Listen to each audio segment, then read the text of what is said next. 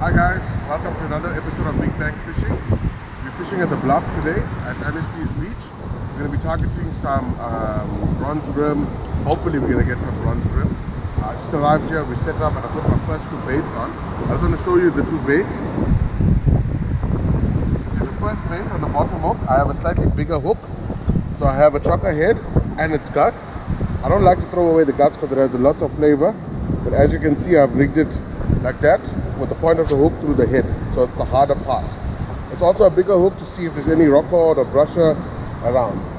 On the top hook, I have a chokka blob that I've just elongated and I've tied it with very thin cotton. As you can see, the top is bound a lot and the bottom is quite loose. And that's because when it hits the water, it's gonna flare open and that's what's gonna attract the bronze bream. So hopefully we're gonna show you a few fish. Uh, I'll catch you guys a bit later.